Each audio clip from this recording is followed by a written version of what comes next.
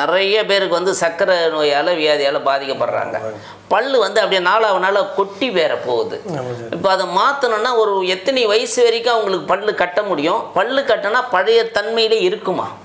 இருக்கலாம் சார். அதாவது பார்த்தீங்கன்னா இப்போ நம்ம மருத்துவமனை வில்லிவாக்க மருத்துவமனையில் பார்த்தீங்கன்னா பற்கள் கட்டுறதுல ஒரு ப்ராப்பரான ஒரு இதுவே வச்சுருக்கோம்.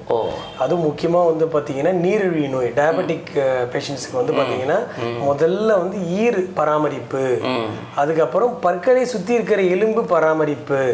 அதுக்கப்புறம் அவங்களுக்கு வந்து ப்ராப்பரான பிளட் சுகர் கண்ட்ரோல் பண்ணுறது இது பண்ணி அதுக்கப்புறம் அவன் அவங்களுக்கு இம்ப்ளான்ட் போடுறதோ இல்லை மற்ற பற்களில் வந்து செயற்கை பற்கள் கட்டுறதோ ரொம்ப பிரமாதமாக பண்ணிடலாம் சார். பண்ணிடுறாங்க. இப்போ அந்த பல்லு வந்து இப்போ எத்தனை வயசு வரைக்கும் கட்டலாம் சார்? ஒருத்தவங்களுக்கு இப்போ பல்லு கொட்டி ஒரு பத்து பல்லு கொட்டிடுது அவருக்கு மேல் பல்லையும் கீழ் பல்லையும்.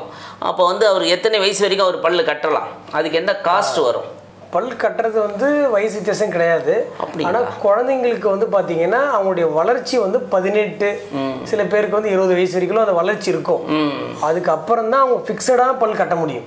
ஓ பிக்சடாக கட்ட ஆமாம் பக்கத்து அப்போ தான் வந்து அந்த பல் கட்டுறதுனால முக பிரச்சனைகள் வராமல் இருக்கும். ஓஹோ ஏன்னா இது நீங்கள் வந்து லாக் மாதிரி பண்ணிடுறீங்க. அதுக்கப்புறம் இந்த பகுதி வந்து வளராது. ஸோ அதனால அவங்களுக்கு முழு வளர்ச்சி அதாவது நம்ம உடல் வளர்ச்சியோட முகமும் வளரும். ஸோ இந்த வளர்ச்சி அடைஞ்சதுக்கு அப்புறம் நீங்கள் அதை பண்ணலாம். எந்த வயசுலையும் நீங்கள் பண்ணலாம். முதியவர்களுக்கு வந்து பார்த்தீங்கன்னா நம்ம இப்போ லேட்டஸ்ட்டாக வந்து பார்த்தீங்கன்னா அவங்க வந்து நார்மலாக பல்ல இழந்துடுறாங்க. அவங்களுக்கு திருப்பி பழையபடி பல் கடிச்சு சாப்பிடணும்னா இம்ப்ளான்ஸ் வந்திருக்கு. ஓ. அது ஒரு பெரிய வரப்பிரசாதம் அவங்களுக்கு. ஏன்னா டென்டல் இம்ப்ளான்ஸ்ன்றது வந்து இப்போ ரொம்ப அட்வான்ஸாக ஆயிடுச்சு. யாருக்குமே வந்து இப்போ வந்து பற்கள் கட்ட முடியாதுன்ற நிலைமைலாம் போயிடுச்சு. எல்லாருக்குமே கட்டலாம். அதாவது சில பேருக்கு சுத்தமாக அந்த பற்களை சுற்றி இருக்கிற அந்த ஈறுகளே சுத்தமாக இல்லைன்னா கூட அந்த ஈறு மேலே இருக்கிற உள்ளே இருக்கிற அந்த எலும்புகள் இல்லைன்னா கூட இங்கே ஜைகோமா வச்சு நீங்கள் இம்ப்ளான்ட் போட்டு அதில் பல் செட்டு கட்டி அந்த பேஷண்ட்டுக்கு ப்ராப்பராக நீ மென்று சாப்பிடலாம். ஓகே. ஆனால் அது ரொம்ப காஸ்ட்டாக சில ஹாஸ்பிட்டலில் விசாரிக்கும் போது ரொம்ப காஸ்ட்டாக சொல்கிறாங்களே அது. அது எல்லாமே இம்போர்ட்டட் சார் இன்னும் இந்தியாவில் வந்து மேனுஃபேக்சர் பண்ணலை. ஓஹோ இது இப்போ வந்து பார்த்தீங்கன்னா Switzerland made in Switzerland so German so USA அங்கேருந்து தான் அந்த டெக்னாலஜி வந்து அவங்க பண்ணிட்டு இருக்காங்க. ஸோ இந்தியாவுக்கு இன்னும் அந்த கம்பெனியோ அந்த டெக்னாலஜியோ வராதனால அதுக்கு இம்போர்ட்டு எக்ஸ்போர்ட்டுடைய காஸ்ட்னால தான் அது காஸ்ட்லியாக இருக்குது சார் ரொம்ப காஸ்ட்லியாக இருக்குன்னாங்க. ஆனால் ஒர்த்து பேஷண்ட்டுக்கு வந்து பழையபடி அவங்க மென்று சாப்பிட்றதுக்கான ஒரு வாய்ப்பு வந்து இப்போ இருக்குது இருக்கு. ஒன்றும் அவங்க ஒன்றும் பயப்பட வேண்டியது பயப்பட தேவையில்ல. நீரிழிவு பேஷண்ட்டுக்கே இருக்குது. யூஸ்வலாக இம்ப்ளான்ட் வந்து நீரிழிவு பேஷண்ட்டுக்கு போடுறது லூஸ் ஆகிடும் சீல் பிடிச்சிரும் அப்படி இப்படின்றாங்க அதை வந்து நம்ம ப்ராப்பரான ப்ரோட்டோகால் பண்ணோம்னா அந்த சீடெல்லாம் பிடிக்காது. மருத்துவரனுடைய ஆலோசனையை ப்ராப்பராக ஃபாலோ பண்ணணும் சார் டாக்டர் நீங்களே ஒரு பழமொழி கேட்டிருப்பீங்க. பா பாம்பு கடிச்சு பொழைச்சவனும் உண்டு பல்லு பிடுங்கி செத்தவனும் உண்டுன்னு நான் சின்ன வயசில் கேள்விப்பட்டிருக்கேன். அது வந்து என்னென்ன குறிப்பாக வந்து கீழ்த்தாடை பல்ல பிடுங்கத்தை விட மேல்தாடை பல்ல பிடுங்கும் போது நரம்புகளை பாதிக்கப்படும். அதால் வந்து உயிருக்கு ஆபத்து வரும்ன்ற மாதிரியும் பேச்சு பேசப்பட்டிருக்கு ஒரு சில சம்பவங்கள் நடந்திருக்குது. அது ஏன் எதால் நடந்தது? இன்னைக்கு அதுக்கான ட்ரீட்மெண்ட் முறை எப்படி வந்திருக்கு? அதை வந்து பார்த்தீங்கன்னா இது நீங்கள் சொல்கிறது வந்து ஆக்சுவலாக ஒரு மூட நம்பிக்கை தான் மேல்தாடை வந்து பல்கல்ல கடைசி பல் எடுக்கிறதுனால இறக்குறது வந்து ஒரு மூட நம்பிக்கை. அறிவியல் பூர்வமான உண்மை இது இல்லை. ஆனால் பேஷண்ட் வந்து பார்த்தீங்கன்னா ஒரு நீரிழிவு நோய். அது வந்து பார்த்தீங்கன்னா ரொம்ப வருஷமாக அவங்களுக்கு வந்து அன்கண்ட்ரோலாக இருப்பாங்க. சரியா ப்ராப்பரான மெயின்டெனன்ஸ் இருக்காது. சரியான டேப்லெட்ஸ் எடுத்துருக்க மாட்டாங்க. இன்சுலின் இன்ஜெக்ஷன் சரியாக போட மாட்டாங்க. அவங்களுக்கு வந்து பார்த்தீங்கன்னா என்ன ஆகும் நீரிழிவு நோய் அதிகமாக வர்றதுனால அப்போ வந்து டாக்டர் கிட்ட போய் தவறுதலாக பல் எடுத்துருவாங்க. டாக்டரும் மிஸ் பண்ணிடுற டைமில் வந்து அது இன்ஃபெக்ஷனாக மாறி டோட்டலாகவே வந்து மு முகத்தில் இன்ஃபெக்ஷன் ஆகி அது வந்து மூளைக்கு போய் அதுக்கு வந்து உயிர் அளவு மூளை நரம்புகளை பாதிக்கப்பட்டு அதால செயலிழந்து போயிடும். செயலிழந்து அந்த அளவுக்கு போறதுக்கான சான்சஸ் இருக்கு. அது ரொம்ப ரேர் தான். ஆனா இருக்கு. அதுக்கு வந்து ப்ராப்பரான மெடிக்கல் லிஸ்ட் எடுத்து அதுக்கான ப்ராப்பரான இது கரெக்டாக பண்ணாங்கன்னா இந்த மாதிரிலாம் ஆகவே ஆகாது. நீங்கள் அது மாதிரி இதில் வந்து தவிர்த்திடுவீங்களா? அவங்களுக்கு என்ன கைடன்ஸ் பண்ணீங்க? சுகர் எவ்வளோ அளவு இருந்தால் அவங்க மேல் பல்ல பிடுங்கலாம். அதாவது நார்மலாக ஃபாஸ்டிங்கு அதுக்கு வந்து பார்த்தீங்கன்னா வந்து ஒரு நூற்றி நூறு ஹண்ட்ரட் இருக்கலாம். ஹண்ட்ரட் இருக்கலாம். இது வந்து அதுக்கப்புறம் ஆர்பிஎஸ் சொல்லுவாங்க ரேண்டம் பிளட் சுகர் இது வந்து டூ ஹண்ட்ரட் வரைக்கும் இருக்கலாம். ஸோ போஸ்ட் ப்ராண்டில்னு சொல்லுவாங்க. அது வந்து டூ ஹண்ட்ரட்குள்ளே இருக்கலாம். ஸோ இந்த மாதிரியான ஒரு வேல்யூவை வச்சு பேஸ் பண்ணி நம்ம பண்ணலாம் சார் தமிழ்நாடு அரசு பல் மருத்துவக் கல்லூரிலையும் ராஜீவ்காந்தி பொது மருத்துவமனையிலையும் முக சீரமைப்பு பல்லு வந்து பேராசிரியராக அதாவது துணை பேராசிரியராக பணிபுரிஞ்சு வரதால் அங்கே வந்து வந்து எந்த அளவுக்கு தொழில்நுட்பங்களை பயிற்சிகளை அரசாங்கம் உருவாக்கி வச்சிருக்கு. முன்ன விட வந்து பார்த்தீங்கன்னா இப்போ வந்து ரொம்ப அதாவது அப்போலோ ஹாஸ்பிட்டலு மற்ற எம்ஜிஎம் ஹாஸ்பிட்டலுக்கு ஈக்குவலாக அங்கே வந்து பார்த்தீங்கன்னா பெரிய பெரிய பணம் வச்சிருக்கிறவங்க தான் போய் ட்ரீட்மெண்ட் பண்ணுறாங்க ஆனால் நம்ம ஜிஹெச்சுக்கு வரவங்க வந்து ஏழை எளிய மக்கள் தான். ஆனால் ட்ரீட்மெண்ட் பொறுத்த வரைக்கும் முக சீரமைப்பில் வந்து பார்த்தீங்கன்னா ஈக்குவல் ஓ. எந்த ஒரு பாரபட்சம் இல்லாமல் ஈக்குவலாக அவங்களுக்கு என்ன ட்ரீட்மெண்ட் கொடுக்குறாங்களோ அது இங்கே வந்து பண்ணக்கூடிய தொழில்நுட்ப வசதி இருக்குது. பல் மருத்துவத்துறையை தேர்ந்தெடுத்தீங்க. உங்கள் சொந்த ஊர் உங்களை பற்றி ஒரு குறிப்பு சொல்லுங்கள் அதாவது சொந்த ஊர் ஆர்னியில் என்னுடைய கல்வி படிப்பெல்லாம் நான் ப்ளஸ் டூ வரைக்கும் படிச்சுட்டு என்னுடைய மதர் வந்து மிக முக்கியமான பங்கு. இன்னைக்கு நான் வந்து சென்னையில் வந்து ஒரு அரசு மருத்துவர் ஒரு பேராசிரியர் ஒரு முக சீரமைப்பு நிபுணர் வில்லிவாக்கத்தில் ஒரு கிளினிக் வச்சிருக்கேன். அதெல்லாம் பண்ணிட்டு இருக்கிறேன்னா அதுக்கு காரணம் வந்து மதர் தான். ஐ வாண்ட் தேங்கர் அவங்க பேர் அப்பா பேர் சொல்லுங்க. அவங்க அப்பா வந்து பார்த்தீங்கன்னா ஒரு முனிசிபல் கமிஷனர் இருந்தார். நாங்கள் ஒரு நார்மல் ஒரு மிடில் கிளாஸ் ஃபேமிலி தான். அம்மா வந்து ஒரு டீச்சராக இருந்தாங்க. ஸோ அவங்க டீச்சராக இருக்கிறதுனால என்னை ரொம்ப அவங்க வழி நடத்துவாங்க. எப்போ வந்து வாழ்க்கையில் வந்து எப்பவுமே சாதிக்கணும். எப்பவுமே நம்ம நல்லது பண்ணணும் அப்படின்றதுனுடைய உண்டு உந்துதல் தான். என்னுடைய நண்பர் கூட என்னுடைய அதுக்கப்புறம் நான் சென்னைக்கு வந்ததுக்கப்புறம் என்னுடைய நண்பர் அவருடைய பேரை சொல்ல விரும்புகிறேன் கபீர்னு. கதிர் கபீர் கபீர். கபீர் அவரு அப்புறம் மற்ற நண்பர்கள் நல்ல நண்பர்கள் கூட்டம். ஸோ அவங்களால அவங்களுடைய தன்னம்பிக்கையினாலையும் இன்ஸ்பிரேஷன் அவங்க கூட இருக்கிறதுனாலையும் தான் வந்து பார்த்தீங்கன்னா ஒரு நல்ல ஒரு இன்டர்வியூ இல்லை மற்ற எல்லாமே நான் வந்து வள தொழில் வளர்ச்சியிலையும் சரி எல்லாத்துலேயுமே எனக்கு ஒரு பாசிட்டிவான ஒரு ஆட்டிடியூட் வந்து டெவலப் ஆச்சு சார் நமக்கு எவ்வளோதான் திறமை இருந்தாலும் நம்மளை சுற்றி இருக்கிறவங்க வந்து நமக்கு பாசிட்டிவாக இல்லை அப்படின்னா நம்ம அந்த அளவுக்கு ஷைன் ஆகும் கரெக்ட் வர முடியாது. நம்ம வளர்ச்சிக்கு வந்து சுற்றுச்சூழலும் சுற்றுப்புற நண்பர்களும் உறவினர்களும் நமக்கு துணை இருக்கணும். துணை இருக்கு ஓகே இப்போ செந்தில்ஸ் ஹாஸ்பிட்டல் இந்தருடைய ஹாஸ்பிட்டலோட இன்ஃப்ராஸ்ட்ரக்சர்ஸ் எவ்வளோ? எது மாதிரியான நோய் வரைக்கும் எது மாதிரியான இது வரைக்கும் இந்த ஆப்ரேஷன்ஸ் இருக்கா? எது மாதிரி ட்ரீட்மெண்ட் கொடுக்குறீங்க? உங்கள் கூட பணிபுரிகிறவங்களை பற்றி கொஞ்சம் டீட்டெயிலாக சொல்லுங்கள் ஓகே இது வந்து வில்லிவாக்கத்தில் வந்து பார்த்தீங்கன்னா செந்தில்ஸ் பல் மற்றும் வாய்முக அறுவை சிகிச்சை மருத்துவமனை இருக்கு. இங்க மைனஸ் சர்ஜரிலாம் பண்றோம். மைனஸ் என்ன? சிறு அறுவை சிகிச்சைகள். வாயில அப்புறம் நாக்குல எல்லாம் பண்றோம். முகத்தில் இருக்கிற காயங்கள் இதுக்கெல்லாமே ட்ரீட்மெண்ட் இங்கெல்லாம் பண்ணிட்டு இருக்காங்க. பெரிய அறுவை சிகிச்சை இங்கே பண்ணுறதில்ல இங்கே வந்து பார்த்தீங்கன்னா பேஷண்ட்டுக்கு வந்து இந்த தாடையில் புதைய பற்கள் சொல்லக்கூடுவாங்க இம்பேக்ஷன் சொல்லுவாங்க. அதை வந்து ரெகுலராக பண்ணுறோம் எப்படி பண்ணுறோன்னா இப்போ நார்மலாக பண்ணுறதுனால அவங்களுக்கு என்னென்ன உபாதைகள் வரும் அதை எல்லாமே மினிமைஸ் பண்ணி பண்ணுவோம் பண்ணுறோம் இப்போ வந்து ஒரு கடைசி த தாடைப்பல் எடுத்தாங்கன்னா இந்த வீக்கம் நிறைய பேர் சில பேர் வரும். சில பேருக்கு வந்து உதடு நாக்கு வந்து மறுத்து இருக்கும். இந்த மாதிரி காம்ப்ளிகேஷன்ஸ்ல இல்லாமல் அது பண்ணக்கூடிய அறுவை சிகிச்சைகள் வந்து எங்கள் வில்லிவாக்கம் மருத்துவமனையில் நான் பண்ணிட்டு இருக்கேன் பேஷண்ட்டை பண்ணும்பொழுதே ப்ராப்பரான மெடிக்கல் ஹிஸ்ட்ரி எல்லாமே ப்ராப்பராக எடுத்து அவங்களுக்கு எந்த ஒரு உடம்புல பிரச்சனைகள் இருந்தாலும் முதல்ல அதை சரி பண்ணி அதுக்கப்புறம் தான் பல் அறுவை சிகிச்சை பண்ணுறதுக்கான ஒரு ஃபெசிலிட்டி இங்கே இருக்குது இங்கே வந்து பார்த்தீங்கன்னா பல் மருத்துவத்தில் நீங்கள் வந்து பார்த்தீங்கன்னா இப்போ அண்ணா நகர் அடையார் எங்கே எடுத்தாலும் கார்ப்பரேட் ஹாஸ்பிட்டல் நிறைய வந்ததுனால எந்த ஒரு ட்ரீட்மெண்ட்டுக்குமே லட்சக்கணக்கில் செலவாகிறது வந்து இங்கே கம்மியாக வந்து கண்டிப்பாக இங்கே நாங்கள் பண்ணிட்டு இருக்கோம். இது ஒரு வருஷம் ரெண்டு வருஷம் இல்லை பதினெட்டு வருஷமாக பண்ணிட்டு இருக்கோம். பதினெட்டு வருஷமா ஒன் லேக் கஷ்ட பேஷண்ட்ஸ் வந்து சாட்டிஸ்ஃபைடாக இருக்காங்க. ஒரு லட்சம் பேஷண்ட் மேலே நம்ம நோயாளிகளுக்கு தீர்வு கொடுத்துருக்கீங்க. ஆ இருக்காங்க. சரி, மகிழ்ச்சியா இருக்காங்க. பெரிய விஷயம்தான் பதினெட்டு வருஷத்துல. இப்போ சில நோய்கள் நீங்க பேராசிரியர்னதால இந்த முக சீரமைப்பு அல்லது இந்த பல்லு இது வந்து பண்ண முடியாமல் சேலஞ்சாக அந்த இது நான் எடுத்து பண்ணறதுக்கு இந்த மாதிரி ஏதாவது ஒரு கேசஸ் ஒரு ஒரு கேஸ் எடுத்து பண்ணியிருக்கீங்களா நிறைய பண்ணியிருக்கேன் ஆக்சுவலாக வந்து மற்ற கிளினிக்கில் வந்து சில பேஷண்ட்ஸுக்கெல்லாம் வந்து அதாவது அந்த ட்ரீட்மெண்ட் டாக்டர் பண்ண பயந்த கேசஸ் எல்லாமே. ஓ. பல் எடுக்கிறத பயப்படுற கே நிறைய ஜென்ரல் கண்டிஷன்ஸ் எல்லாம் இருக்கும். ஹார்ட் அட்டாக்லாம் அவங்களுக்கு வந்திருக்கும். அதுக்கு எல்லாமே தகுதியான மருத்துவர் கன்சென்ட் வாங்கி சில சமயத்தில் அந்த மருத்துவரை கூட வச்சுக்கிட்டு இங்கேயே நான் அறுவை எல்லாம் பண்ணியிருக்கேன். இது ஒண்ணு. செகண்ட் வந்து பாத்தீங்கன்னா கர்ப்பிணி பெண்களுக்கு வந்து முகலாம் வீக்கம் வந்துரும். ஆ. அப்போ பல்லுல வந்து எடுக்கணுமா வேணாமான்னு பிரச்சனை எல்லாம் வந்து இன்ஃபெக்ஷன்லாம் ஆயிடும். அப்போ வந்து அவங்க வந்து பல்லு மருத்துவர்கிட்டலாம் போயிருப்பாங்க. அந்த நிறைய சேலஞ்சு கேஸ் எங்க கிளினிக் வந்து நாங்க சேலஞ்சிங்கா பண்ணி நிறைய கர்ப்பிணி பெண்களுக்கு வந்து பல்லு மருத்துவ சிகிச்சை பண்ணி இன்ஃபெக்ஷன் இல்லாம. ஏன்னா அவங்களுக்கு டேப்லெட்ஸும் கொடுக்கக்கூடாது இன்ஃபெக்ஷனும் அதிகமாகக்கூடாது. ஸோ அதெல்லாம் சேலஞ்சிங்காக எடுத்து நிறைய நான் பண்ணி பேஷண்ட்ஸ்க்கு நல்ல பேர் வாங்கியிருக்கேன் சார். அவங்க மரபு சார்ந்த நோய்கள் இருக்கும்போது கிட்னி இருக்குது ஹார்ட் இருக்குது நீங்கள் மகப்பேறு இருக்குது இது மாதிரி இதில் வந்து எந்த நோயாளிகள் வந்து அந்த நேரத்தில் வந்து நாம் வந்து அறுவை சிகிச்சை பல் சம்மந்தப்பட்ட நோய்களுக்கான அறுவை சிகிச்சை செய்யக்கூடாது.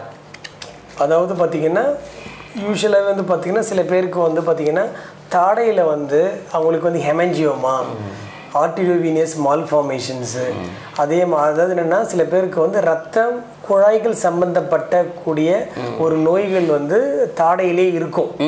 அவங்க வந்து ரொம்ப கேர்ஃபுல்லாக இருக்கணும். ரெண்டாவது வந்து கேன்சர் பாதிப்பு அவங்களுக்கு கீமோதெரப்பி இருக்கிற பேஷண்ட்டுக்கு வந்து பல் சிகிச்சை பண்ணும்போது கேர்ஃபுல்லாக இருக்கணும். ரெண்டாவது மூணாவது வந்து பார்த்தீங்கன்னா இப்போ ரீசெண்டாக ரேடியோ தெரப்பி பண்ணியிருப்பாங்க. முகத்தில் வந்து ரேடியோ தெரப்பி மாதிரி கொடுத்துருப்பாங்க. அந்த கதிர்வீச்சு சிகிச்சை பண்ண பேஷண்ட்டுக்கு ட்ரீட்மெண்ட் எடுக்கிறதுக்கு ரொம்ப கவனமாக இருக்கணும். ப்ரெக்னென்சி பேஷண்ட்ஸ் ரொம்ப கவனமாக இருக்கணும். அதுக்கப்புறம் சில பேருக்கு வந்து ரத்த உறைதலில் சில பிரச்சனைகள்லாம் இருக்கும். ஹீமோஃபிலியா அப்படி பேஷண்ட்ஸ் எல்லாம் இருக்காங்க. நிறைய பேர் இருப்பாங்க. ஏ பிலாம் இருக்கு. அவங்க அந்த மாதிரி ரத்த உறைதலில் சில பிரச்சனைகள்லாம் இருக்கும். இவங்கெல்லாம் முன்னெச்சரிக்கையாக எல்லா இன்வெஸ்டிகேஷனையும் எடுத்து ப்ராப்பராக அதுக்கப்புறம் அதுக்கான டாக்டர்ஸ் பக்கத்தில் ஃபிட்னஸ் வச்சுக்கிட்டோ அவங்க கூட வச்சுக்கிட்டோ நீங்கள் சிறப்பாக பண்ணலாம் சார் ஓகே. இப்போ பல் பராமரிப்பது எப்படி? ஏன்னா நோய் வந்துட்ட பிறகு தீர்க்கு பல் பராமரிப்பு எப்படி? பல் பராமரித்து நோய் வருவதற்கு முன்னே பாதுகாத்துக்கிறதுக்கு என்ன முறை? நிறைய டென்டல் கிளினிக்கில் வந்து பார்த்தீங்கன்னா க்ளீனிங் பண்ணுவாங்க. பண்ணிட்டு அவங்களுக்கு ப்ராப்பராக ஓஎச்ஐ ஓரல் ஹைஜீன் இன்ஸ்ட்ரக்ஷன் அப்படின்னு ஒன்று இருக்கு. அதை வந்து கொடுக்குறதே இல்லை. இதை வந்து நான் இந்த வீடியோ பதிவில் நான் பதிவு பண்ணுறேன் பண்ணி அதை வந்து எல்லாரும் கண்ட க கட்டாயமாக்கணும் அதை. அந்த ஓஎச்ஐன்றது என்னன்னா ப்ராப்பரான ப்ரஷிங் மெத்தட் பாஸ் மெத்தடை எல்லாருக்கும் சொல்லி கொடுங்க. மெத்தட் அதுக்குன்னு தனி ஒரு மெத்தட் இருக்கு. பல் வளர்க்குறதுக்குன்னு. அந்த மெத்தடை வந்து எல்லா பல் மருத்துவரும் வந்து பேஷண்ட்க்கு சொல்லணும். ப்ளஸ் வந்து பார்த்தீங்கன்னா டென்டல் ஃப்ளாஸ் ப்ரஷ் பண்ணதுக்கு அப்புறம் ஒரு ஃப்ளாஸ் மாதிரி ஒரு த்ரெட் மாதிரி இருக்கு. அதை வச்சு எப்படி க்ளீன் பண்ணணுன்றதை பண்ணணும். நம்ம நார்மலாக ப்ரஷ் பண்ணால் ஒரு செவன்ட்டி பர்சன்ட் அது க்ளீன் ஆகும். மீதி முப்பது பர்சன்ட் அழுக்கு வந்து ரெண்டு பல்லு பல்லுக்கிடைகளில் இருக்கும். அதையும் க்ளீன் பண்ணுறது வந்து டென்டல் ஃப்ளாஸ் அப்புறம் வந்து மூணாவது வந்து பார்த்தீங்கன்னா அவங்களுக்கு பல்லு இடையில கேப் இருந்ததுன்னா இன்டர்டென்டல் ப்ரஷ் அதுக்கப்புறம் அவங்க மவுத் வாஷ் ஸோ இந்த மாதிரி ஒரு ரெகுலராக அவங்க டென்டல் கேர் பண்ணாங்கன்னா அதாவது நம்ம டீத்துக்கு கம்முக்கு மட்டும் இல்லாமல் அவங்களுக்கு மிக முக்கியமானது உடலுக்கும் முக்கியமாக ஹார்ட்டுக்கு மற்ற என்னென்ன டிசீஸ் ரிலேட்டட் ஆகுதுன்னு சொல்லிடுறேன் உங்களுக்கு. ஹார்ட்டில் வந்து பார்த்தீங்கன்னா சில பேருக்கு இன்ஃபெக்ட் எண்டோகார்டைட்டிஸ் வருது. ஓஹோ. என்ன சரியா வாய் சுத்து ரொம்ப மோசமா வச்சிருக்கிறவங்களுக்கு ஈறு ரத்தம் கசிஞ்சு அதனால பாக்டீரியா இதயத்துக்கு போய் அதனால சில பிரச்சனை பின்னாடி உடனே வராத பின்னாடி வருது அவங்களுக்கு. அதை தடுக்க முடியும். ரெண்டாவது வந்து பாத்தீங்கன்னா கண்ணு வந்து ரொம்ப இம்பார்ட்டன்ட் சில பேருக்கு வந்து பார்த்தீங்கன்னா கண்ணில் இன்ஃபெக்ஷன் வர்றது சில பேருக்கு வந்து தோல் இன்ஃபெக்ஷன் வர்றது சில பேருக்கு மூட்டு வலி அடிக்கடி வரவங்களுக்கு வந்து டென்டல் கேர் ரொம்ப இம்பார்ட்டன்ட் ஓஹோ. நான் ஏற்கனவே சொன்ன மாதிரி நீரிழிவு பேஷண்ட்டு ஸோ இது எல்லாமே அஹ், பண்றதுனால அவங்களுக்கு வந்து டென்டல் கேர் பண்ணுறதுனால அவங்களுக்கு மற்ற ஜென்ரல் டிசீஸும் சீப்போ சீக்கிரம் அவங்களுக்கு வந்து வியாதி குணமாகறதுக்கான சான்சஸ் உண்டு.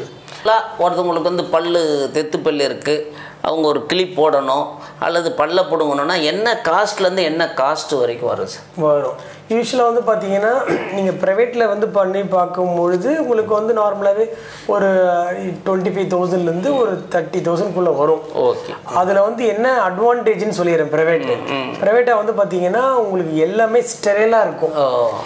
கவர்மெண்ட்டில் வந்து சரியாக பண்ணுறாங்க நான் இல்லைன்னு சொல்லலை. நான் அதை அதுக்காக நான் அவங்க சரியாக பண்ண சொல்ல பட் ப்ரைவேட்டாக வந்து பற்றி பேஷண்ட்டுக்காக நம்ம நிறைய சில விஷயங்கள்லாம் எக்ஸ்ட்ரா பண்ண வேண்டியிருக்கும்.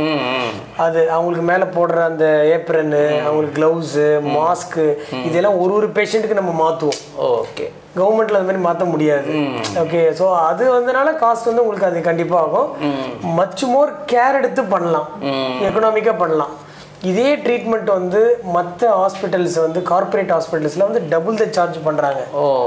அவங்க அப்படியே சார்ஜ் பண்ணி அறுபதாயிரம் பண்ணுறாங்க அவங்க ஃபெசிலிட்டிக்காக பண்ணுறாங்க பட் ட்ரீட்மெண்ட்ஸ் ஆர் சேம் ஓ. இங்க நம்ம பண்ற ட்ரீட்மெண்ட் எல்லாமே ஒரே ட்ரீட்மெண்ட் தான். இப்போ இந்த கீழ்ப்பல்லு பிடுங்கிறதுக்கும் மேல் பல் பிடுங்கிறதுக்கும் அதை கட்டுவதற்கும் காசு வித்தியாசப்படுதா? என்ன காஸ்ட் வித்தியாசப்படும்? அதை நார்மலாகவே வந்து பார்த்தீங்கன்னா அவங்களுக்கான தையல் போடுறதுக்கு இது பண்ணுறது அவங்களுக்கு வந்து லேசர் பண்ணி ட்ரீட்மெண்ட் பண்ணுறாங்களா இல்லை நார்மலாக பண்ணுறாங்களான்றதை வச்சு தான் காஸ்ட் டிஃப்ரென்ஸ் ஆகுது சார் இப்போ நார்மலாக வந்து உங்களுக்கு வந்து இந்த தையல் போடுறதுக்கு வந்து தையலே வந்து நல்லா கரைஞ்சிடுற தையல். சில தையல் வந்து கரையாத தையல்லாம் நிறைய இருக்கு. ஸோ அதை பேஸ் பண்ணி அவங்களுக்கு ட்ரீட்மெண்ட் பண்ணலாம். குறைஞ்சபட்சம் ஒரு ஃபைவ் தௌசண்ட்குள்ளே வரும் சார் ஓஹோ. மேலுக்கு பல்கீழ அறுவை சிகிச்சை மூலமாக எடுக்கிறதுனால. இது நார்மலான ஃபீஸ் பண்ணுறது அந்த பேஷண்ட்டுக்கிட்ட வந்து நிறைய நம்ம பார்க்கும்போது ஒரு அன்டச்சபிள் இல்லாமல் டாக்டருங்களா இருக்கிறாங்களே அதுக்கு என்ன காரணம் சார் அதாவது பார்த்தீங்கன்னா நான் வளர்ந்ததெல்லாம் பார்த்தீங்கன்னா ஒரு பதினெட்டு வருஷத்துக்கு முன்னாடி இருக்கிற ஜெனரேஷன்லேருந்து நான் டென்டல் அது பார்க்குறேன். ஆக்சுவலாக அதை வந்து நீங்கள் சொல்கிறத தவிர்க்கணும் ஆக்சுவலாக ஃபஸ்ட்டு வந்து பேஷண்ட்டை வந்து ஒரு ஹியூமன் பீயிங்காக தான் பார்க்கணும். நம்ம பேஷண்ட்டு நான் நான் தான் அங்கே இருக்கேன். நம்மளை வந்து அவங்க பொசிஷனில் இருக்கும்போது எப்படின்றத தான் பார்க்கணும். ஒரு நல்ல டாக்டருக்கு வந்து மிக முக்கியமான குவாலிட்டி வந்து இப்போ இருக்கிற யங் ஜெனரேஷன் டாக்டருக்கு நான் சொல்கிறேன் அதை வந்து முதல்ல வளர்க்கணும். ஹியூமனிட்டி அவருக்கும் பிரச்சனை இருக்கு. எடுத்த உடனே மணியில போயிடக்கூடாது. பேஷண்ட் தகுந்த மாதிரி சார்ஜ் பண்ணணும். பேஷண்ட் வந்து முடியலன்னா அவங்க ஃபீஸ் வாங்கி பண்ணிடணும். இல்ல இல்ல இந்த ஃபீஸ் தான் அப்படின்னு பண்றது அவாய்ட் பண்ணலாம் என்னை பொறுத்த வரைக்கும். அது வந்து ஒரு சர்வீஸாக பண்ணிடலாம் அவங்களுக்கு. அது அது ஒன்று பண்ணலாம். ரெண்டாவது வந்து பேஷண்ட்டை வந்து ரொம்ப அன்பாக தான் நம்ம இது பண்ணணும். இளம் தலைமுறை டாக்டர்கள். அவங்க என்ன தெரிஞ்சுக்கணும்? அவங்க எப்படி தன் படிப்பிலையும் சரி அஹ், சேவையிலும் சரி தன்னை எப்படி மேம்படுத்திக்கணும்? அதாவது பார்த்தீங்கன்னா இப்போ இருக்கிற வளர்ந்த பல் மருத்துவம் வந்து மிக சிறப்பான மருத்துவம். அதாவது இப்போ இருக்கிற காம்படிஷனு ப்ராப்பரான டாக்டருங்களுக்கு ட்ரெயின் பண்ணாமல் விட்டுட்டாங்க. அதனால தான் வந்து நிறைய கிளினிக் ஓப்பன் பண்ணுறாங்க க்ளோஸ் பண்ணுறாங்க ஏன்னா பேஷண்ட்டை எப்படி அணுகணும்? ஒரு பேஷண்ட்டை மனசெலவுலையும் அவங்களுக்கு கம்ப்ளீட்டாக உடல் ரீதியாக கம்ப்ளீட்டாக என்ன பிரச்சனைன்றது தெரிஞ்சிட்டு தான் ட்ரீட்மெண்ட் பண்ணணும். அப்படி பண்ணாம ஒரு பேஷண்ட் வந்தாங்கன்னா பல் எடுக்கணுமா? ஐநூறுரூபா ஆகும். ஆயிரம் ரூபாய் ஆகும். இப்படி பேசக்கூடாது.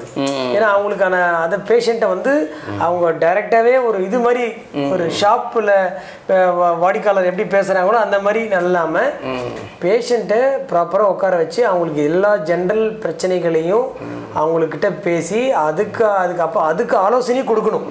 ஸோ நீங்கள் கேட்டிங்களே இப்போ இருக்கிற பல் மருத்துவர்கள் வந்து உடம்பு ரீதியாக கம்ப்ளீட்டாக படிக்கணுன்றது தான் என்னுடைய மிக முக்கியமானது இது. எல்லாரும் நினச்சிக்கிறாங்கன்னா பல் மருத்துவன்றது வந்து ஏதோ தனியாக இருக்கு. உடம்புலேருந்து வெளியே இருக்கு. இது ஆக்சுவலி உடம்போட தான் இருக்கு.